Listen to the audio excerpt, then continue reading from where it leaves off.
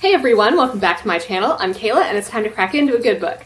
So today I'm going to do a wrap up of the books that I read not for readathons in November. So I uh, will start off by tell I'll tell you um, I read a total of 35 books in November, which is insane. Um, 19 of those were for readathons, so obviously today I have 16 other books that I'm going to talk about. If you're interested for my thoughts about the books that I read for the Lord of the Readathons and Evil-a-thon, I'll leave those videos linked down below so you can check them out. Um, but yeah, so for Lord of the Readathons, I'll just quickly like tell you what books that I read if, in case you're interested. Um, so I read Spindle and Dagger, uh, Sword and Pen, Berserker, Galaxy's Edge Black Spire, A Closed and Common Orbit, Dark Dawn, Aquaman Volume 1 The Trench, uh, Stars Uncharted, Seven Stones to Stand or Fall, Some Girls Bite, Cold Iron, and Dating You, Hating You. For Evil-a-thon, I read The Bone Houses, The Night Parade, Violet, The Devil Aspect, The Devil in the Deep, An Unwanted Guest, and Come Closer. So for this video, I'm gonna go in order of like, you know, lowest rating to highest rating. My lowest rating was a two star, so, you know, not as bad as previous months. Um, and I only have one of them, so that's good. Uh, so the one that I rated two stars was Bridget Jones' Diary by Helen Fielding. So like, I love this cover so much and I thought I was gonna like it, but it was so boring. Basically, I don't know. I mean, Bridget Jones' Diary, like probably a lot of you know what it is already. Uh, it's kind of like Pride and Prejudice. Uh, so Bridget Jones, like, you know, we, we follow her diary entries for a, a year of her life and all the drama that happens with like friends, family, and herself. Um, yeah, so this was just incredibly boring, and I've seen the movie and I liked the movie, so I thought this would be more similar to it, and it's just, I don't know. Um, so I think one of my main issues, which was just like totally my fault, uh, I didn't realize it would actually read like diary entries, which like dumb. That was dumb of me because it literally says Bridget Jones' diary. So, you know, it's partly my fault. Uh, so yeah, it's just like, it just made it really hard to read. Um, I don't really enjoy like reading things that are kind of shorthand and, you know, I, like I've read other books that are supposedly diary, diary entries that like have full sentences, you know, and like that's totally fine. It reads more like a story. But this one, it just, mm, I don't know. I didn't really, I didn't really care for how it was presented. I didn't really get a great sense of any of the characters. Um, though obviously Daniel sucks. He's the worst. Um, and it's not quite the same as the movie. And I do think the movie version is actually better. So I would suggest checking out the movie instead of this one, the book, unfortunately. So then we get into the three star range. So the first one I'll talk about here is Small Spaces by Katherine Arden. So I did listen to this on audiobook. Um, and this, I mean, to be fair, I didn't really have high expectations going in because like I was pretty sure that I wasn't, I'm not really into middle grade anymore. And, you know, that, that was in fact true. Uh, so, you know, it's just like, I think this would be a much better book if you are either, you enjoy middle grade more than I do, or like you're a younger reader, I guess. Um, but yeah, so basically, like, I didn't feel like I was the intended audience, and, you know, the writing suffered, I guess, from that. This is by the same author who did the Winter Night trilogy. Uh, so here, our main character, Ollie, finds a book that a woman is like attempting to throw into a river. Um, and she, Ollie's like, oh no, I'll, t- I'll take this book instead. The book is called Small Spaces and it's kind of, you know, like a, a strange book. And then her class, Ollie's class visits like a farm where people have disappeared mysteriously. Um, and eventually, like, the bus driver tells her that she need, she and her classmates need to run and like stick to small spaces.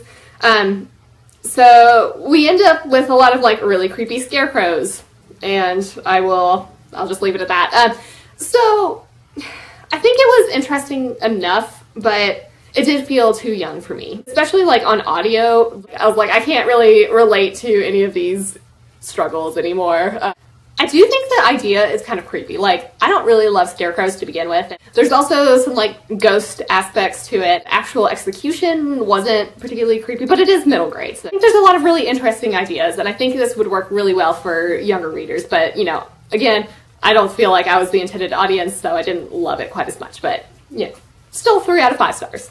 So the next three out of five star book that I have to show you is Teen Titans by Geoff Johns. Uh, this is book one. So these it was, all right. Um, this I think again it, it just like wasn't quite what I expected.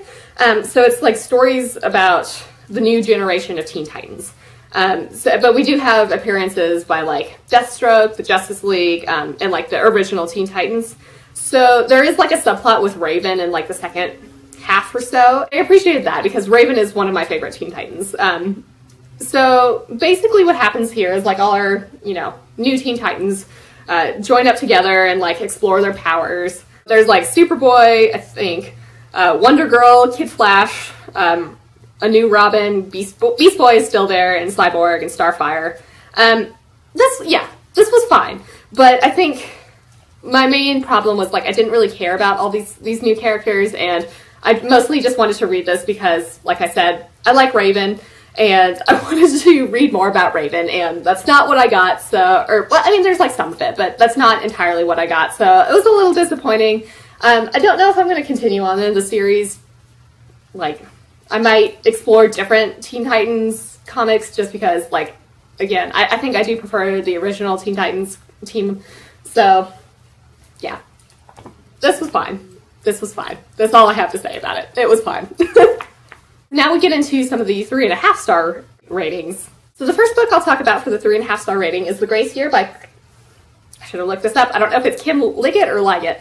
Um, but this is like a dystopian book where girls who are like 16 um, are sent away for a year to rid themselves of their magic because evidently like these people believe that girls of this age emit a powerful aphrodisiac so they're supposed to release their magic before returning to civilization wasn't clear to me just like as an aside if there maybe like weren't as many boys being born in this world but that, like again that doesn't really matter um, so basically like men are in control and women are kind of looked down upon.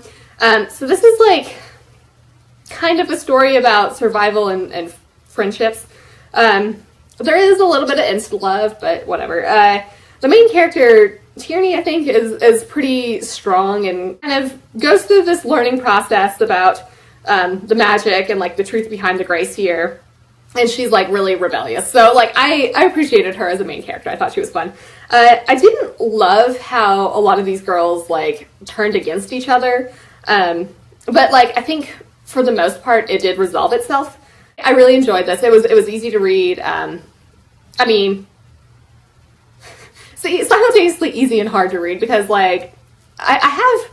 I feel like with these types of dystopian books like this and like The Handmaid's Tale, um, it's also it's just the idea is so disturbing like sometimes i feel like we're not all that far away from these sort of things becoming reality and that's like that's a little bit terrifying um, but anyway yeah so like in general the book itself was aside from like the topic it was it was easy and, and very quick to read um, so like it's not the most amazing book i've ever read but i did have a really good time with it and would definitely recommend that you you pick it up if that sounds interesting to you. The next three and a half star book that I'll show today or talk about today is Star Wars Resistance Reborn by Rebecca Roanhorse. So, like, I mean, I've talked about this fairly recently, but basically, like, the Resistance is in shambles after Episode 8, and they're just like, trying to recruit more people and um, you know fight against the first order. So, this is like kind of leading us up to episode 9 we find out that resistance allies and former uh, imperials are being like rounded up by the first order.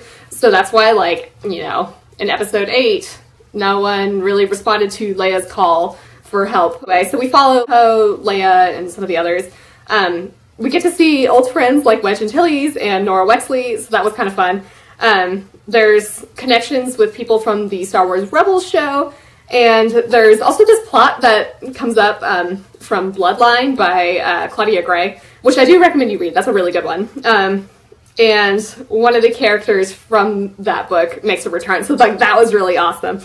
Uh, you know, the First Order is obviously still hunting them down, and you can like kind of feel the desperation of the Resistance. Um, overall, I think it was enjoyable, but I don't think it's necessary to really read before Episode Nine. I do think Rebecca Roanhorse did a pretty good job of capturing the characters' personalities and everything. Um, like it was a quick read. Uh, what I did, I think what I think I liked the most about this was we explore Poe's guilt from leading a mutiny in episode 8, which I, yeah, so I really appreciate that because in episode 8, I was like, what in the hell are you doing? Like, my god, this is a terrible idea. And so I, th- I, think it was, yeah, like, I think it's really interesting that he kind of realizes that he's made a mistake and is trying to come to terms with his actions and, like, what they led to. So. I mean, I think if you're a big Star Wars fan, I would say, like, pick this up, but otherwise, it's probably not, like, crucial to read if, you know, before seeing episode 9. So the next three and a half star book I'll talk about is Realm of Ash by Tasha Suri. So I've kind of been debating if I want to rate this like three and a half or four stars, and I'm not really sure. So we're just going to talk about it here. Um, but yeah, so this is like a companion slash sequel to Empire of Sand, and I've talked about this like fairly recently. In this world, we kind of have um, this group of people, like the Amrithi, uh, who have these powers then can kind of like communicate with these gods. And the the people in this world with the Amrithi blood are like kind of thought of as, as like cursed and impure. We follow Arwa, who is the sister to the main character from the first book, Mehr. I have no idea if I'm pronouncing these names right. Um, but anyway, so Arwa is raised as well. we'll continue to struggle at pronouncing these things. Um, she's raised as Ambhan. I don't know. I don't know if Ambhan is the right pronunciation, but uh, they're like you know the the nobles of of this world. Um, and so Arwa basically believes that she and like can actually pass as a noblewoman. She's really loyal to this empire. She like survives a massacre at a fort and that's how her husband dies and this like that happens before, you know, events of this book. And so these like devas, which are kind of, you know, these supernatural type creatures, uh, are like hunting her, and so she volunteers to help Zahir, who is like a an illegitimate prince, um, on his quest through the realm of Ash, with to like try to save the Empire. I didn't like this nearly as much as Empire Stand, unfortunately. So that was that was kind of a bummer. So I think my main problem here was I didn't feel like it was as easy to relate to Arwa as it was to Mehr from the first book. Arwa does experience character growth, which I do appreciate, and by the end, like I did like her a bit more, but um, you know, at the beginning I was like, uh, you know, I'm not really a fan of you. So that that just kind of made it hard to get into. It's definitely a slower plot compared to Empire of Sand. Um, I don't think it's quite as engaging as like, you know, rebelling against the Empire. Kind of felt a little meh about the romance. Um, but yeah, so like basically to summarize this, like it was fine. I didn't like it nearly as much as Empire of Sand, but that being said, like I do think it's really lovely writing. Um, it's an interesting world, and I do want to see what happens. Like I, am not entirely sure. I think there should be more books in this series, but not entirely positive about that. Uh, between Empire of Sand and Realm of Ash, like I think Empire of Sand and the main character kind of have like this more fiery, rebellious feel, whereas Realm of Ash and Arwa are kind of like more quiet and reserved. So it's like it's just totally different feels. Um, they're both good in their own right, but I personally related to the main character and liked Empire of Sand a bit more. But I do I do recommend picking up this series. So the last of the three and a half star books that I'll talk about today is Girls of Paper and Fire by Natasha Ngan. Uh, this is the YA fantasy where girls are kind of like selected to be the Demon King's concubines. So our main character Lei is selected and like really hates that life and wants to escape it. Um, so that, you know, really generic plot overview there, but like, I mean, the plot itself is kind of generic, but it's really easy to read and I did have a really good time with it there's definitely some content warnings here. Like a dog gets killed fairly early on, and I didn't love that. Not not my favorite. Um, and then obviously there's since these girls are being forced to be the Demon King's concubines, there's rape and abuse. Um, I, most of that happens off screen, but some of it does happen on screen. Um, I really liked the main character Lei. She has a lot of like really admirable qualities. Like she's really rebellious. Um, she stands up for herself. Um, she's pretty intelligent. I think I'm interested enough to read the sequel uh, there is like a female-female relationship. Uh, it may be developed a little bit quickly, but that's okay. Um, yeah, so like I don't really have a ton to say about this. I do think, yeah, not the most original YA fantasy I've ever read, but I enjoyed it enough and kind of like want to see what happens after these events. So now we're in the four out of five star range. So the first one I'll talk about here is The Naturals by Jennifer Lynn Barnes. So I listened to this on audio. Basically, the premise here are, is like teens with various gifts join the FBI to help solve cold cases, which is awesome. I love that sort of plot. Um, so our main character, Cassie, can like, her powers are, you know, kind of to, she's like a natural profiler, so she can kind of get into the heads of of people and like understand what motivates them. Her mom was murdered when she was younger, so Cassie obviously joins the FBI team and like kind of wants to figure out what actually happened to her mother. There's a serial killer in this book, and so we kind of alternate perspectives. So the serial killer starts to become a little bit obsessed with Cassie, and you know things happen. I had a really great time with it. Uh, I thought the audio was fun. Um, I think it's a really fun idea. Like I said, I really love these sort of you know, people with some sort of magical ability solving crimes. I did like the characters quite a bit. Um, there is a little bit of a love triangle, which, you know, is never really my favorite, but what can you do? I was surprised by the events and did not, in fact, guess what was going to happen. If this sounds like a fun premise to you, and like, I, I definitely recommend picking this this book up. Um, I want I want to continue the series for sure. The Next, the four star books I'll talk about, I also listened to on audio, and that's Daisy Jones and the Six by Taylor Jenkins Reid. This is like a biography of a fictional rock band. Um, so I do highly recommend that you listen to this on audio. It was great. There's like a full cast, and most importantly, I learned this from Amber from Books of Amber, but uh, Judy Greer from like Archer and obviously like other fame, but you know, she plays Cheryl, Carol, Charlene, Crystal, I think. I think those are all the names.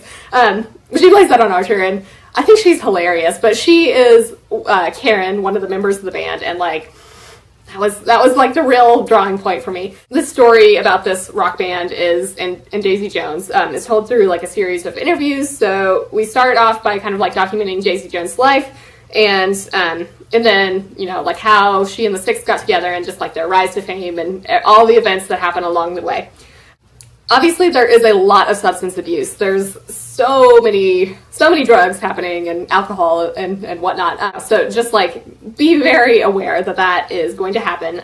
I really liked Karen um, in particular and along with most of the band, but I did find Eddie a little annoying. It's a really like fun but also sad book. Um, I like want to know more about this fictional band. So, like, obviously, like, I think it really drew me in if I, I care about this, this rock band that doesn't even exist. Uh, Daisy, I think in particular, has some, like, really excellent quotes, um, and just general life advice. Like, there's that kind of, you know, resonated with me, I guess. Basically, she's like, you know, she's really unapologetic, unapologetic and is like, you do you, uh, don't do things because others think you should, which is like, yeah, I like it. I like that sentiment. Um, I think Amazon might be doing a TV series about this, and I thought I saw that Elvis's granddaughter is going to be Daisy Jones, but so that's like really cool. I think this is just a really fun book. I was surprised. I, I wasn't really sure if I was going to love this, but I think listening to it on audio definitely helped a bit. Um, I will say something that kind of like brought it down from the five star range for me is just uh, like at times I, I did get a little tired, I guess, of, of hearing about all these drugs that people were doing. I've still really enjoyed it overall. Definitely recommend listening to it. The next of the four star books that I'll talk about is Visions of Heat by Nalini Singh. Um, so this is the third book in the Psy-Changeling series, and I did buddy read this with Amber at Books of Amber, and again, I'll leave her channel link down below.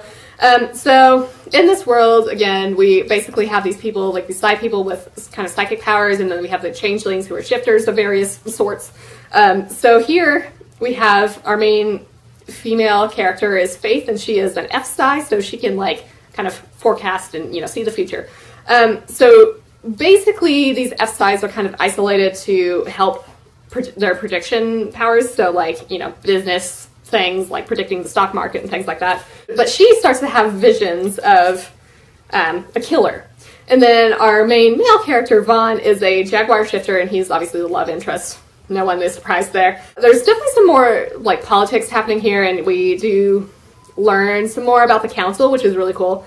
Uh, and we also learn more about the PsyNet and like what it's made out of. I really enjoy this world. Like it's these are these books are super easy to read. I I mean it's it's paranormal romance, so you know there's gonna be romance, there's gonna be some smutty scenes, but it's just it's just fun and like sometimes you just need some books like this that are easy to read and kind of like palate cleansers.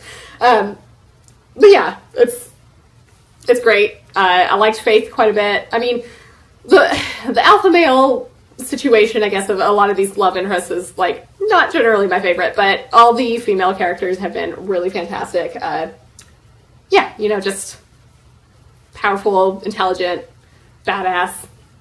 What more can you ask for? Um, but yeah, so like I, I definitely recommend picking up this series if you are at all interested in paranormal romance. It's fun. The last of the four star books that I'll talk about today is The Night Circus by Erin Morgenstern. Um, so I finally read this, and I feel like I'm like the last person on BookTube to actually read it. Uh, so basically, here we have this magical cir circus that suddenly appears places, and our main characters, Celia and Marco, are kind of in a magical competition of sorts, where there's only one winner. And this was, I think, I mean, that's like a very vague overview, but I think it's actually better to not know much about it going in. It turned out to not be what I expected, and I I like that. I thought it was going to be more magical realism, and I don't think it really is. So that's good. Um, I'm not big on magical realism, so I was pleasantly surprised. Uh, like I was a little worried about it going into this. The magical competition wasn't what I expected, really. I think it was beautifully written. I loved hear, learning about the circus. Um, so we also follow Bailey, who is a, a kid who really likes the circus and like kind of learn about his destiny. So generally, I, I do think the competition was like a little unclear, and I, for some reason, thought it was going to be like a hardcore magical duel, and it's not. I don't know why I thought that. I really liked the characters, and I felt for them. Um, I was just really drawn into this world, and I don't know. It just it's it's a it's a magical book, really. At times, I think there was maybe like a little bit. It was a little bit slow, but overall, I really was drawn into it and wanted to know what happened and just, you know, I don't know. I had a good time with it. I would definitely recommend reading it. So now we get into the five star range. Um, so the first book I'll talk about here is Scythe by, by Neal Shusterman. So again, I feel like I'm the last person on BookTube to actually pick this up, but I'm glad that I finally read it. Um, so this is kind of, it's not really so much as a dystopian as like a dystopian utopian, perhaps. Um, so what I mean by this is like we it's set in the future where there's like no more disease or poverty or you know hunger, war, or death. Um, so obviously, since people aren't really dying as much, uh, the we have to have some way to control the population so you know like we don't overexpand. But so these people called scythes are kind of tasked to kill people in the population. So we follow two characters um, kind of in competition to each other who are apprentices to be a scythe. I thought this was great. Oh my god. Um, I think it brought up a lot of really interesting and important questions and slash ideas. Uh, and it kind of just like makes you think about ethics, I think, and just like what would you do in this situation, I guess. We kind of see the scythe struggle with this difficulty of uh, making these decisions on, you know, who to kill obviously it's a it's a really hard decision and it should be a, a, hard decision. I thought it was it was really engaging. I flew through it and just loved every minute of it. Uh, i have bought the second and third books in this series and i'm very excited to read them. The next of the five out of five star books that i'll talk about is strange planet by nathan w. Pyle. So this is i mean just like a short little comic book series uh, but you know it's it's it was cute. Uh, like i don't really have much to say about it other than like you know it's it's a series of comics where aliens are like experiencing things in the human world and like kind of have awkward ways of of phrasing certain things. And it's just like it's just kind of comical. Waffles are crisscross flop discs. Um, so you know we just have like really fun cute terminology of explaining real world, world things. Um, it's funny it's adorable i just it's great. Just a really cute heartwarming comic series. So then i read Taken and Chosen by Benedict Jacka, and so these are the third and fourth books in the Alex Verus series. Um, so we'll start with Taken, because that's obviously the third one. Uh, so here, it's, it's an urban fantasy series where our main character, Alex, is a diviner, so he can like kind of see probabilities of like how events would play out, and so like can kind of see the future. In this world, we have like light and dark mages and um, like a council of mages and there's like generally like supernatural creatures and creatures from mythology. Uh, so the, the basic plot line behind this particular book is like apprentices are vanishing and Alex gets involved in like tracking them down while also training his own apprentice. Along the way there are some mage duels and sketchy houses. So I'll just leave it at that. Um, I think it, the series is really entertaining. It's very easy to read. Uh, Alex, the main character, is awesome. He's like not the most powerful mage, but he like he knows that and like can kind of has, has has kind of come up with clever ways to use his powers in order to like survive and fight and you know whatnot. Has some really interesting ma- magic in this world. Like I said, like you know, being a diviner, you can see probabilities. Uh, there's like luck magic, there's time magic, there's life magic. So there's really a, a whole bunch of, of fun uh, magical abilities, I guess. Chosen is the fourth book in the series, and basically like some old actions come back to haunt Alex.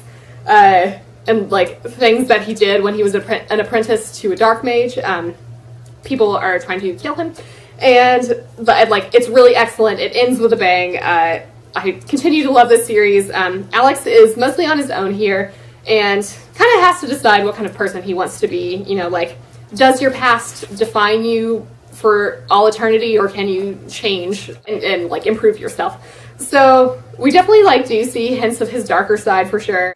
This is such a great urban fantasy series. I think if you like the Dresden Files, you will likely like this series as well. So the final book I'll talk about today is Starsight by Brandon Sanderson. So like obviously I didn't show you this when I did my last book haul because it just came out like last week or whatever and I've already bought and read it, so you know, here it is. Starsight is the sequel to Skyward, and this is Brandon Sanderson's like YA sci-fi series. And Skyward, these humans are trapped on a planet and there's like sort of, you know, aliens keeping them trapped there and our main character Spensa kind of like learns uh, she enrolls in a flight academy and like you know learns how to fly spaceships and um, has to fight against these aliens. And so Starsight I think really like kind of expands the scope. So you know Skyward is, took place on this planet and now we're like you know in space. We do expand to new areas in space and there's like still kind of an academy type setting. Um, but we we have new characters and new species, which is really cool. Uh, Spensa, the main character, learns more about her abilities and, you know, continues to be really awesome. She is pretty hilarious and just a delight to read. Generally, this book is fantastic. I mean, it's Brandon Sanderson. I love Brandon Sanderson. This continues to be fabulous. Uh, we have like some fun revelations in here. An interesting new setting and like, my god, that ending. Desperately need the next book in the series. Spensa, like I said, is, is just really clever and just wonderful to read about. Um, the interactions between her and like Doomslug and M-Bot are fantastic, as well as her interactions with these new characters. Um, yeah, so I highly recommend the series. I, I mean, just generally highly recommend Brandon Sanderson. This is fabulous. I loved it, and I just I need I need the next book. Those are the 16 books that I read outside of the two readathons that I did in November. Let me know down in the comments if you've read any of these books or think you might pick them up. I hope you're having an excellent day and are reading something awesome. If you enjoyed this video, feel free to give it a big thumbs up. That would certainly help me out. But with that, I think I'm going to wrap it up here and see you in the next one.